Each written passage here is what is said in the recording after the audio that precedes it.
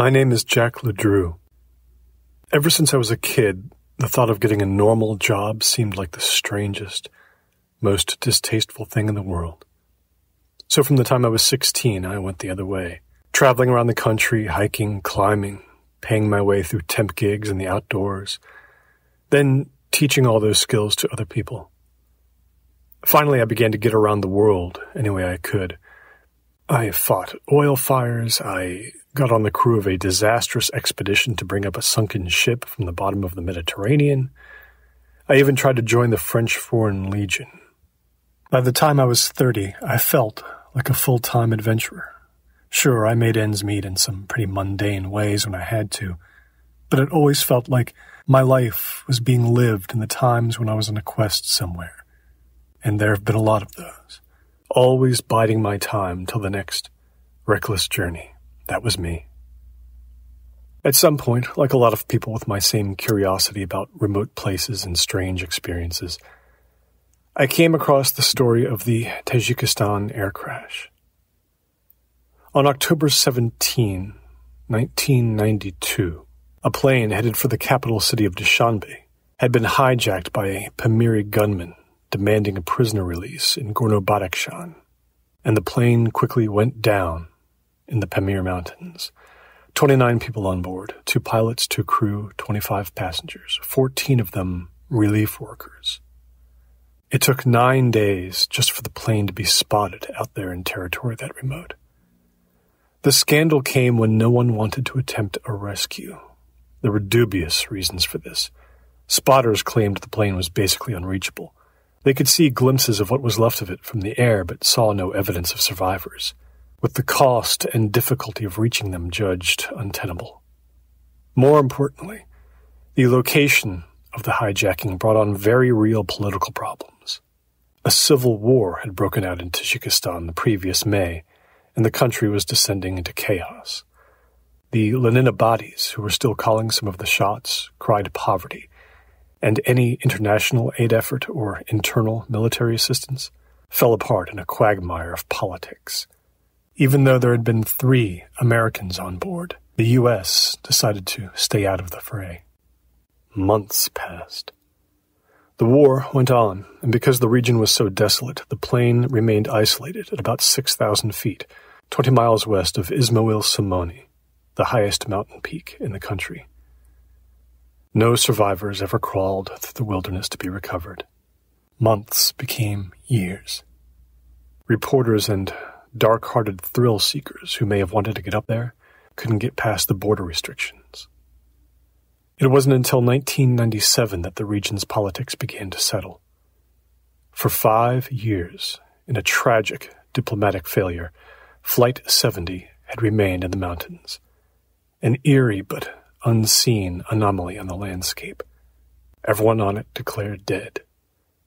Satellite photos depicted shattered and burned remnants from odd and indistinct angles. The crash area was rocky and steep and half scraped of trees by harsh winds. That place never left my mind after I read about it for the first time. And so when I did a deep dive into the political situation in Tajikistan, I realized something I think a lot of other people had missed. That by 1998, it had become safe enough for an individual with the right mountaineering skills to reach the plane, for whatever reason they might want to. But the powers that be were apparently content to let the crash lie forever.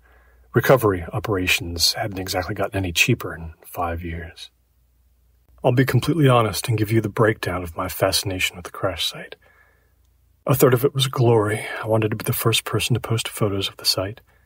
A third of it was the novelty, I would be completely alone and doing something no one else had the guts or the willingness to do. The last third of my interest was morbid curiosity. I was 37 in the summer of 1998, when the relative political ease of getting deep into the Pamirs would, for the first time, combine with acceptable weather conditions to make reaching that plane truly possible. I was so paranoid someone else would have the idea first that I didn't mention it to anyone until three days before I flew from LaGuardia Airport to Tokyo, Tokyo to New Delhi, and New Delhi to Dushanbe. From there, I was able to drive the M41 all the way to Djalagan, 20 miles northwest of Ismail Somoni. Climbers usually start their ascent of Ismail Somoni from a base camp in Moskvina Glade, which can only be accessed by helicopter. I didn't need to go that high. I intended to walk 35 miles to the plane over the course of five days. The snow would be confined to the higher peaks, except maybe when I got up there to 6,000 feet, just maybe. I consciously did not prepare for a freak snowstorm, which, if it happened, might just kill me. I would also have problems if a private pilot I'd hired to drop supplies for me in the lowlands for the return hike screwed up or got detained. All my advanced research had made me mostly confident in Flight 70's exact location. If I didn't find it within 24 hours of getting to its elevation, though, I'd have to bag it. I couldn't explore any longer than I absolutely needed to. Every eight hours, the elements might bring something completely new. Nighttime temperatures in July in that area could dip below freezing. After two days of rest to deal with my jet lag, I began my hike. I walked and I snapped photographs, and the weather held. On the third day, I saw Ismail Somoni in the far distance, snow capped, bleak, and beautiful. But God, was I glad not to have to get that far. When the sun disappeared and the sky went the color of ash, it looked like a silent God promising nothing but death. My isolation was of a kind I'd never really experienced, and on the fourth night, huddled in my tent in the trees that dotted the rocky lowlands, it seemed to engulf me all at once. I was kicking dirt over the fire I'd built outside my tent. It was about two in the morning. I'd been living in that silence for three days and nights, but now truly disturbing images suddenly came unbidden into my mind. They'd broached my mental defenses before, ever since I read about Flight 70. But out there, just miles from the crash site after flying across the world, they were infinitely more vivid. I thought about the silence of more than 2,000 nights there inside that broken fuselage as the bodies decomposed. There would have been visitors to it of an inhuman kind, scavengers, dragging the bodies out one by one, maybe over the course of weeks, months, in the silence. And after there was nothing left to take, and only bones remaining, that tomb would have begun to age meaninglessly, rusting, rotting. If I were to just sit inside there, in an intact seat maybe, what could be heard, I wondered? Just wind, rain, snow, the slow drip of moisture. Insects would have crawled over the wreckage on summer nights, devouring what the mammals didn't want. My reverie was broken by the sound of something moving in the woods. It stood out only because it didn't have the random scurrying or galloping aspect I was used to. It sounded like a cautious shift, a conscious resettling in a slightly different place and I think I lost a half hour's sleep playing it back in my mind again and again. I spent at least two hours a day resting and calculating, going very carefully over my maps, and I figured I'd begin my ascent to the plane from my last camp around midday on July 9th. But the terrain was a wild card, and I had to detour around a wide stream that had unpredictably overflowed creating an impassable cutoff I had to spend hours negotiating. And so at about dusk, I was faced with the choice of making the final ascent in the dark or waiting until dawn. I won't lie, I was too excited to wait. I had a powerful headlamp, so the darkness wasn't going to deter me. Neither would the cold, as the temperature hovered right around 38 degrees, which would drop to about the freezing point higher up. A mountaineer of my acquaintance who had hiked through the Pamirs in the early 80s had given me his maps, and they had proved terrifically accurate. Getting to about 6,000 feet wasn't so much about physical endurance and acclimating. Altitude sickness doesn't affect me so much until I get up over 8,000. The problem here was maneuvering up the rocks in the dark without slipping. I didn't need any hooks or ropes, just good climbing boots. But I did have to constantly move with my hands pressed against the rocks to maintain my balance. I'm a lot of things, but I'm not a true mountain climber. So there were a couple of points where, when I looked back and down, I got nervous. There finally came that exciting but frustrating point where I was where I thought I needed to be, and it was just a matter of covering ground in different directions to see if I could spot something. It was about one in the morning, a starry sky overhead. The wind was a little worse than I thought, and I was very cold.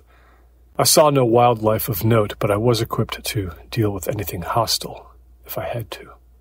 At half past two, when I'd started to become truly frustrated and perpetually out of breath, I looked up a slope on the east side of the mountain and saw some small structure jutting out over the top of a ridge high above me.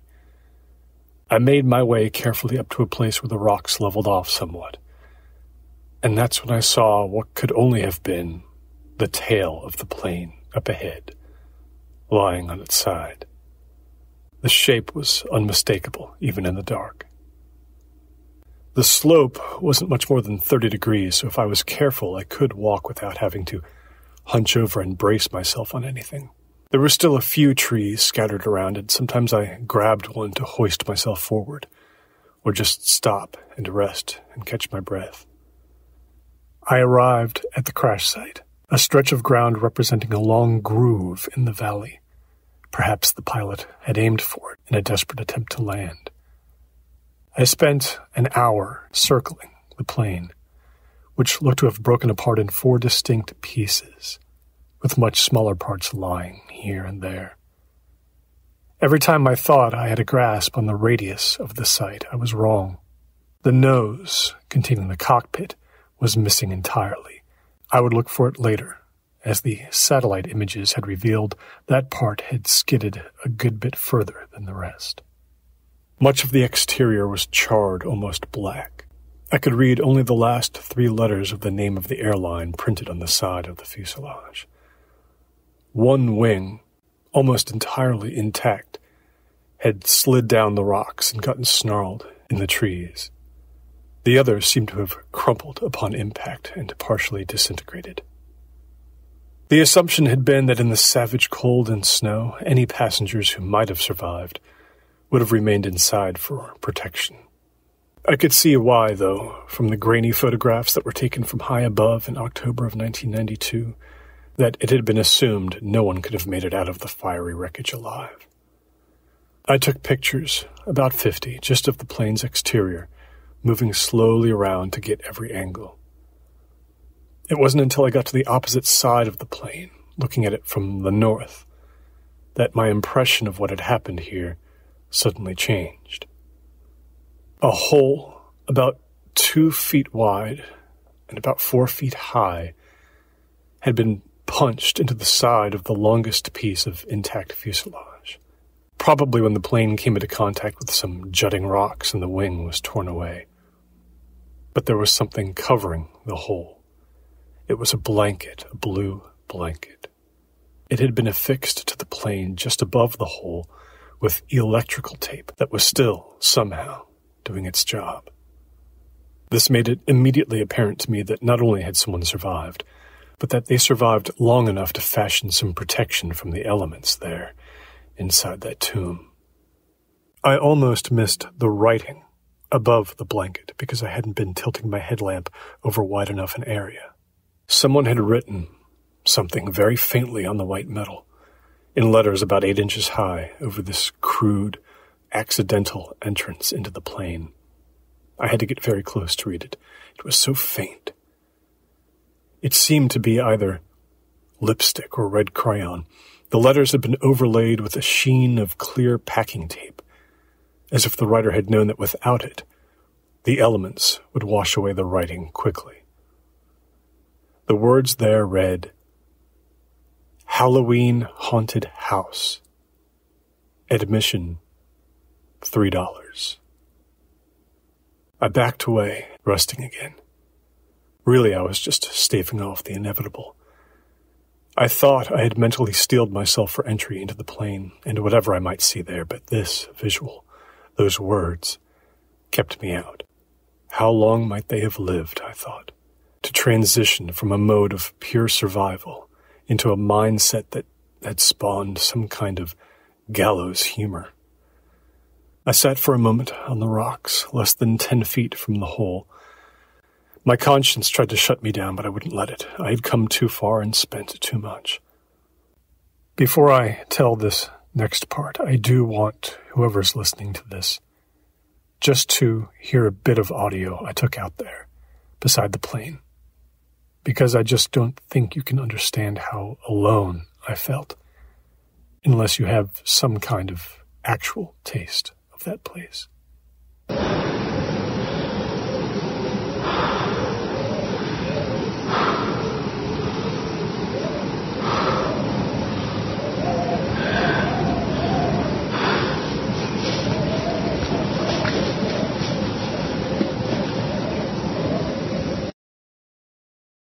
I pushed the blue blanket aside and maneuvered carefully through the crack into the fuselage, trying not to rip my jacket, pants, or flesh on jagged, protruding metal shards. Enough air had gotten into this section on a consistent basis, so it wasn't as stuffy as I thought it might be. There were tiny cracks in the metal frame in several places. There was no particular odor in there except of simple mustiness. Immediately, my headlamp showed me something dangling right in front of my face, at eye level. It was an index card, about three by five inches, hung from the ceiling of the craft by a piece of what I thought was dental floss. Something was written on it. I rubbed the letters and came to the conclusion that they were done in permanent black marker, fading year by year. They read in all capital letters, Warning! Exclamation point.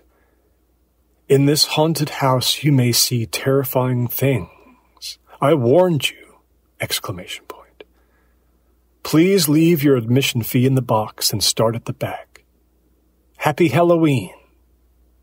Signed, Lawrence Braid, with a crude drawing of a jack-o'-lantern beside the signature. Lawrence Braid, I knew, had been one of the three Americans on board the plane, an engineer for the Red Cross.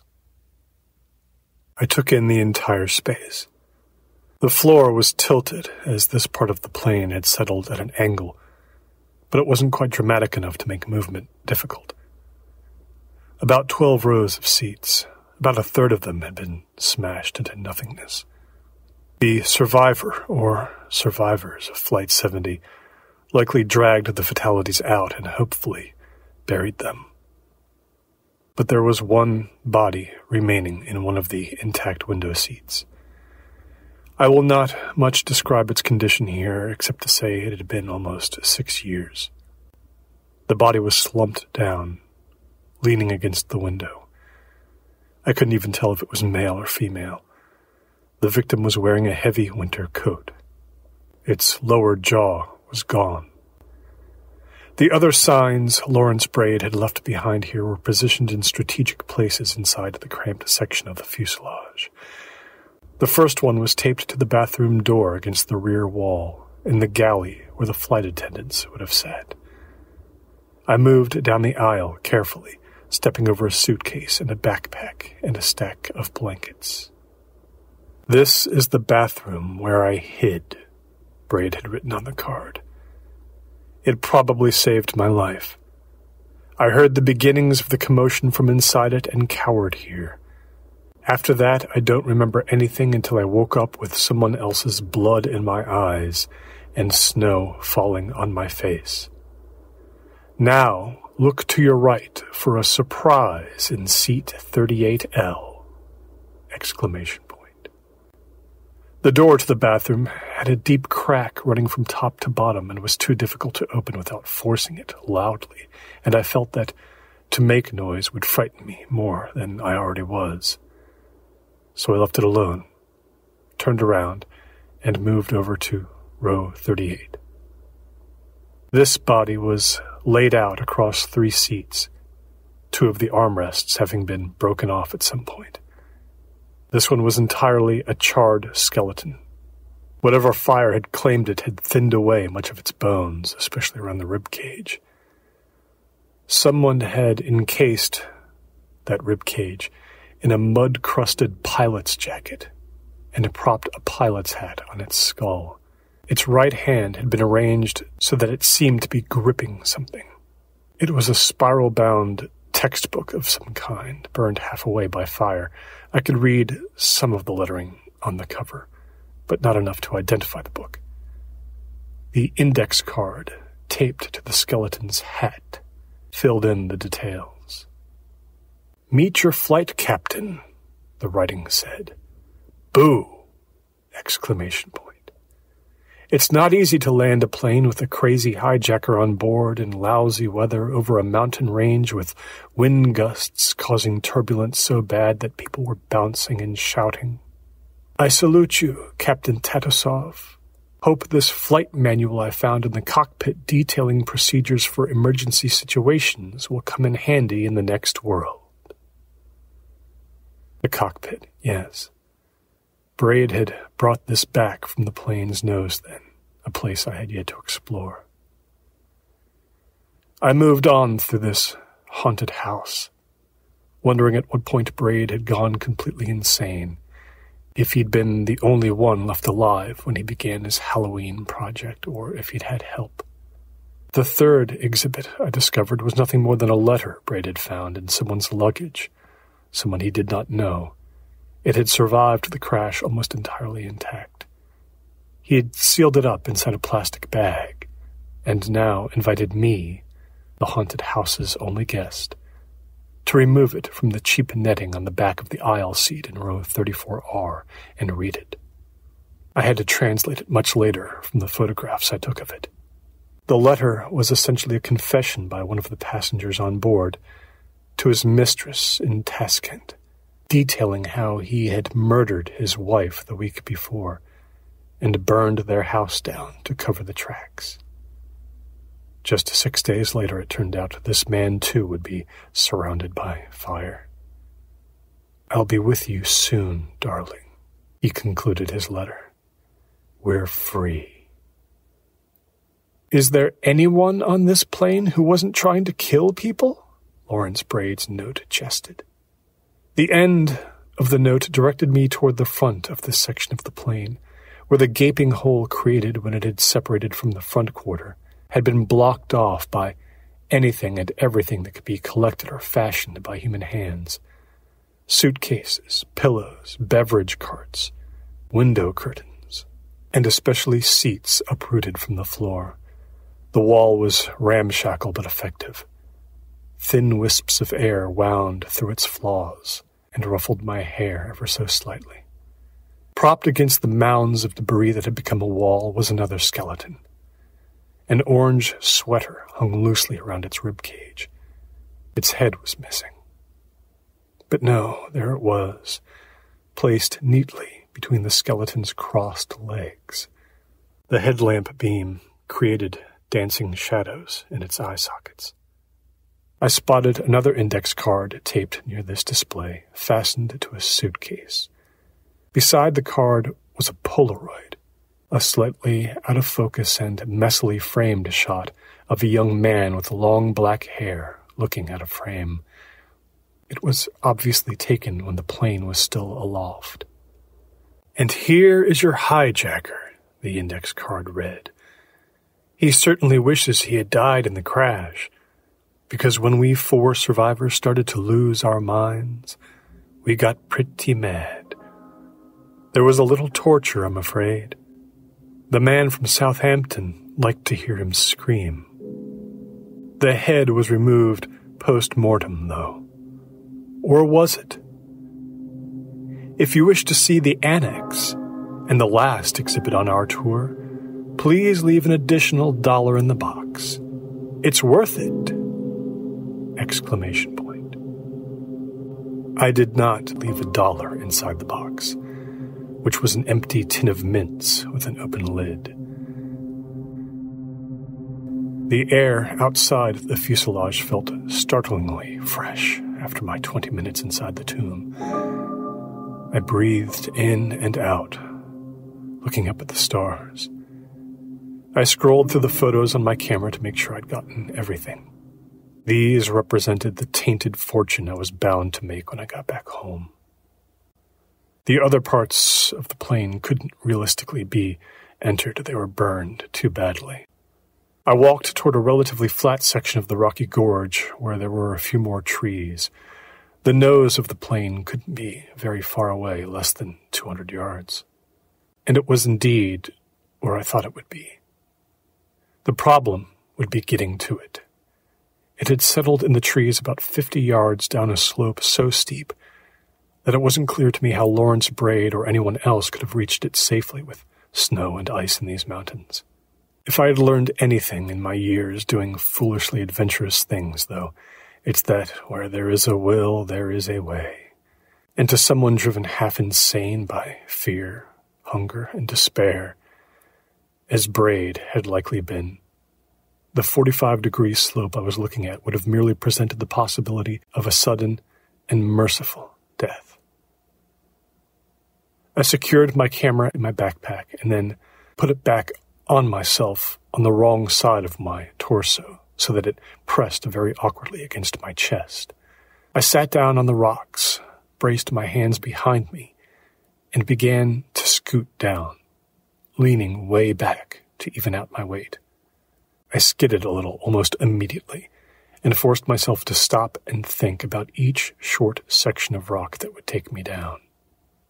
I then progressed somewhat blindly, as lifting my head and curving my neck to see exactly where I was going was too great a constant strain on my muscles. It was slow going, feeling my way down, scraping my back against the rock, while the weight of my pack felt like it was pinning my overworked lungs. But I got there. I finally felt the tips of my boots press against the side of the aircraft's nose.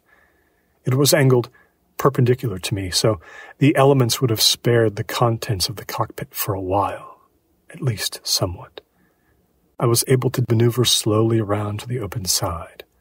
Just ten feet off to the right from that great wound in the plane structure, a thin but possibly deadly dark crevasse beckoned to me from a split in the terrain. Whether it was three feet or thirty feet deep, I couldn't tell. There was not much to the space before me. Room enough for the flight crew, that was about it. The structure had been punctured on the left side, and one of the pilot's seats was totally mangled. The windshield was shattered, but mostly intact. No bodies. A final index card had been taped to the floor here, in front of the throttle levers, and it was flanked by two photographs on one side, two on the other. Polaroids again. I had to look at them for a very long time to understand them. I was here, the card read. It was the third night after everyone else was dead. I broke two toes sliding on the ice toward the nose. I looked up and saw the light coming over the west ridge. It was green then the whole sky went that color all at once, and it began to ripple. It was beautiful and terrifying. There were voices that weren't human. But they didn't take me. L.B. The Polaroids illustrated the note in a fashion so crude that you could almost argue that these were merely defective prints. Two were nothing more than an indistinct sea of a strangely textured green color, while the third showed the same thing, but at least had two trees in the foreground for context, so that I did believe I was looking at a corrupted night sky. The edge of the fourth photo seemed to have captured part of a vast, dark object thinly concealed within the layer of rippling green atmosphere that had replaced the sky. But what the object was would have been complete conjecture. as it offered no detail beyond a blockiness of shape. Like the other pictures and documents on Lawrence Braid's tour, I photographed these multiple times and then left them exactly where they were. I exited the nose of the aircraft and sat securely on its torn open edge, tucking the camera back into my pack for the ascent back up the slope. I wondered when Braid had died and exactly how. It would have required precious physical and mental energy to create his haunted house. From about 120 yards beyond the crest of the slope, there came the sound of something heavy banging twice against the fuselage of the airplane. The tinniness of the sound clanged and cracked against the rocks. Even in my exhausted state, my mind was processing everything quickly enough to flash immediately back to the night before, sitting at my camp after extinguishing the fire, and hearing something shift in the woods, a sound less than two seconds in duration, but which somehow suggested intent. I got moving. There were two indentations in the rock slope well placed so as to allow my legs a good first upward push. As cold as it was, the rock was bone dry, and I had only one scary moment when my right foot gave, and the rest of my body slipped downward two feet, my chin bumping the rock painfully. I waited till my heartbeat slowed and continued my climb. Soon enough, I was on my feet again, standing and staring at the wreckage in the distance. I stood in the dark and waited. I would need to put my warmer, less malleable gloves on soon. My fingers were starting to become painfully cold and stiff. I moved toward the plane, wondering if I would have the courage, if the source of the sound did not reveal itself, to go back inside it. Do it again, I said to the phantom noisemaker as I circled the area, maybe out loud, I don't know. Do it again. I called out, very loudly, to anyone who might be around in the shadows. No response.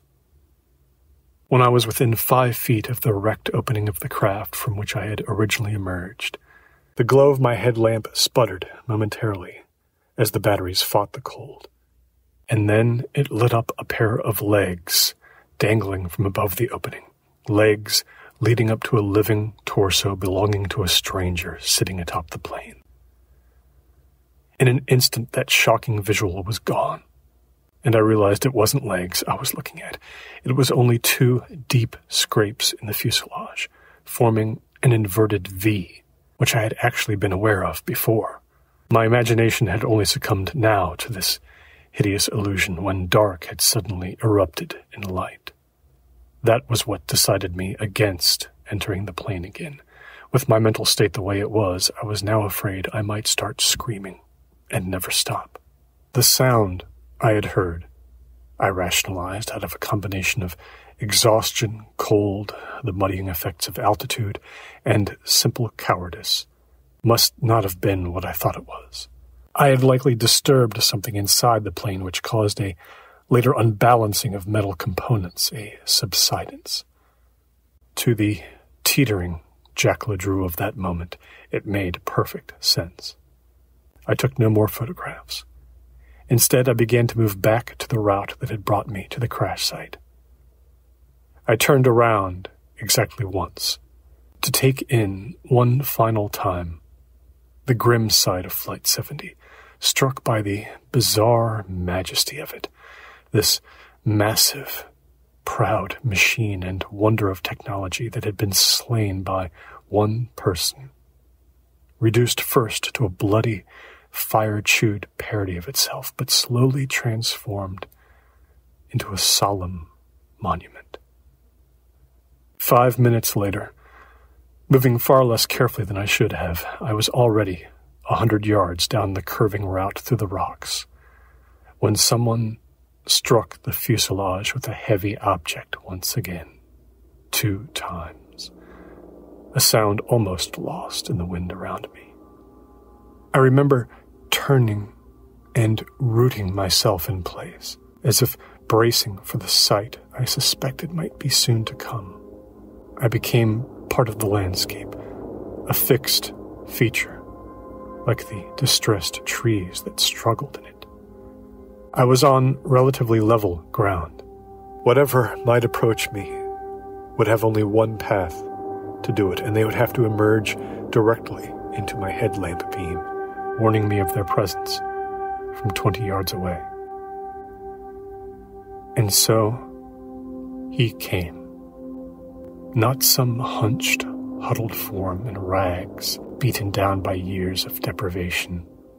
He walked slowly into the beam with silent, stoic composure. He wore a dark green sweater and tan pants under a thick and oversized denim jacket, a knit cap on his head. He was bearded, very tall. He looked at me with only mild curiosity, as if he had been expecting me since 1992. He came to within just a few yards of me. Then he extended a shaky right hand, in which he gripped a small, empty mince tin, its lid open. You didn't pay, Lawrence Braid said to me.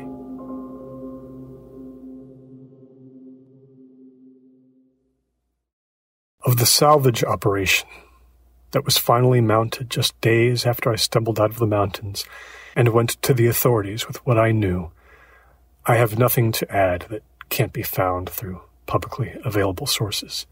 It's just details, the sad administrative part of a lurid story.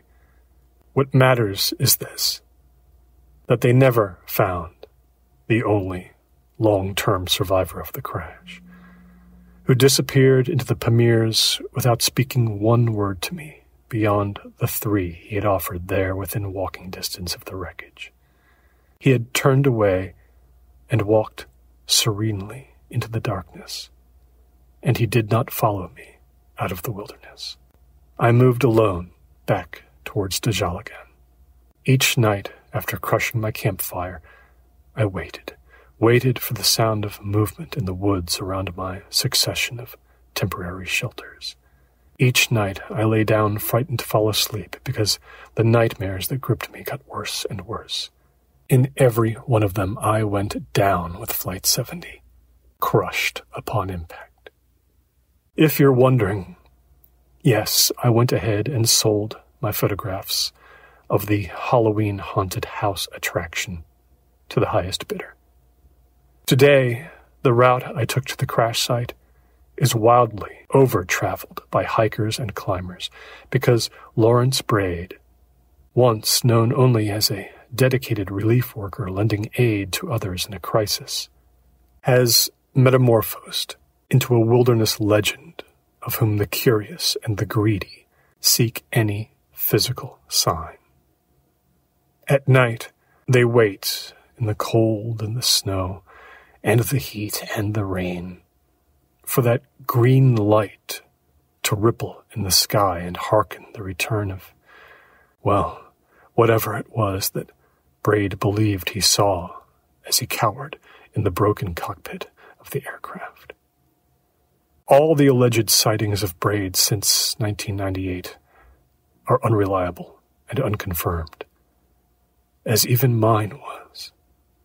Sometimes I think the only way he could never have been found out there by now is that he did indeed perish, the last one to die shortly after completing work on his attraction, probably.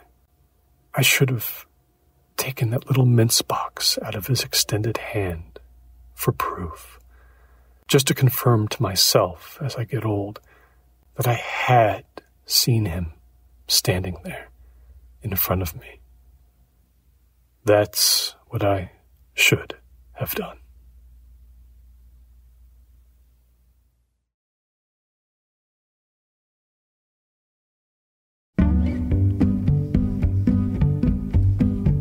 Steffi was only working at Steidenstrauer's Donuts because she wanted to buy a Microsoft Zune. Steffi was a techie And the Microsoft Zune was allegedly going to be the digital music player that wiped the iPod off the map.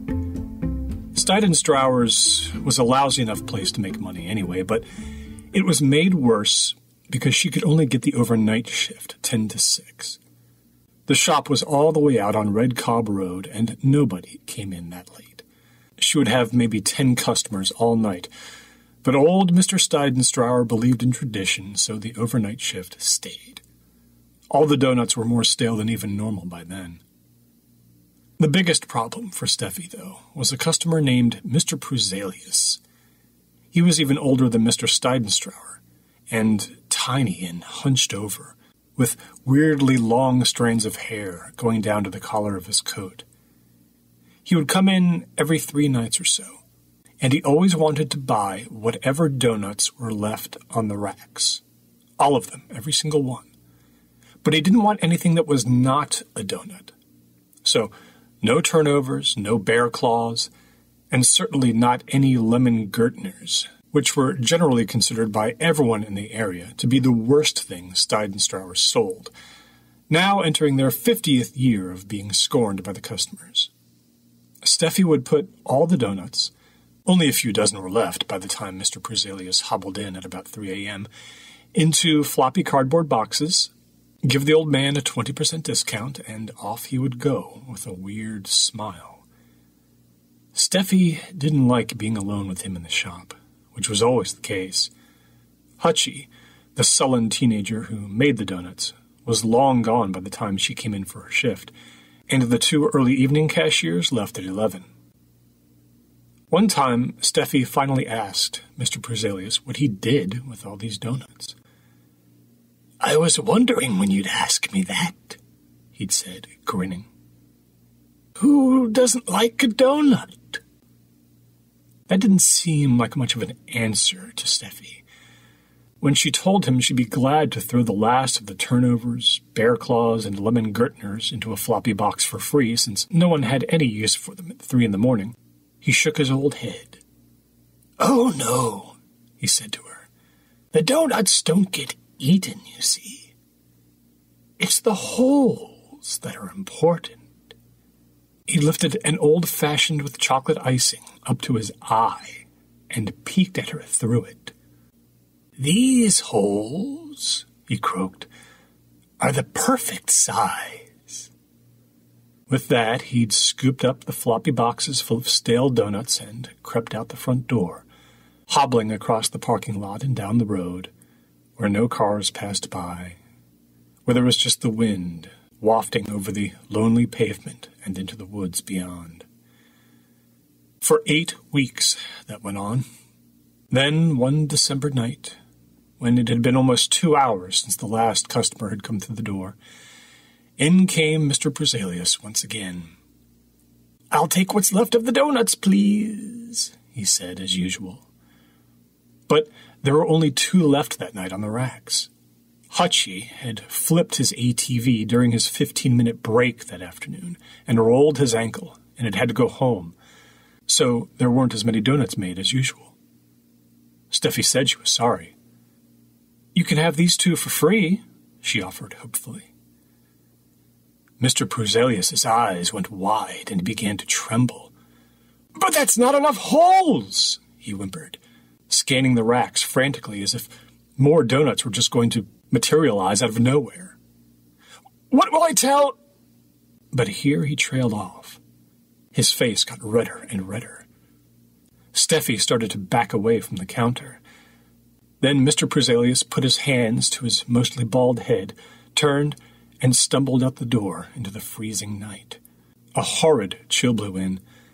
The old man crossed the parking lot and vanished into the darkness. For the first time, sans donuts. Well, that was something I didn't need to experience, Steffi said to herself when he was gone. She wiped down the counter and leaned on it, trying to calm herself. This job could not end soon enough. She was so close to being able to afford a Microsoft Zune. Then it was off to college and the next most exciting phase of her life but she couldn't seem to settle herself after the incident. She became hyper aware of the clock ticking on the wall above her, the clock that had been hanging there since 1971. She listened to the wind outside and watched it ruffle the grass beside lonely Red Cob Road. She became more and more nervous. At 3:15, the front door opened once more and the draft rushed in. Steffi looked up to see a tall man standing there. Very, very tall. He was wrapped in a black raincoat and wore a black hat. His face was pale, so incredibly pale. His bony feet were bare, totally bare, against store policy. His corneas were tiny, tiny, and they were bright green. When he got close enough to the counter, Steffi's heart almost stopped. There was what looked like mist or smoke curling around the man's shoulders and head. It wasn't rising, though, it was just dwelling around him. He smelled musty, like a dead grandfather's suit found in an attic. Where are the holes? this awful man whispered. Pruselius had none. Give them to me. Steffi put a hand to her chest to control the sudden hitch in her breathing. It's like I told him, she said. Hutchie didn't make enough donuts. The tall man leaned over the counter. His tiny, tiny, bright green corneas became nothing more than Little dots, no bigger than the dots over the eyes if you wrote the word shrieking on a napkin. I need holes, he said. Without enough holes, I can't see through to the other side. That was it. Steffi lost it. She slammed her hand down on a tray beside her and lifted from it a rock hard, two day old lemon Gertner and hurled it at the terrible man. It struck him right between the eyes, and he howled, shocked at her aggression. It was safe to say that no one had ever dared strike him with stale pastry. He put his pale hands to his face and let out a long, high pitched snarl that didn't sound human. He spun around and seemed to float toward the door, the mist or smoke swirling even faster around him. The door opened without him even touching it. Then he was out and into the parking lot.